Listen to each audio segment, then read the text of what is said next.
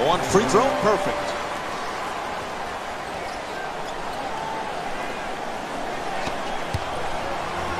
And the pass intercepted by Ibaka.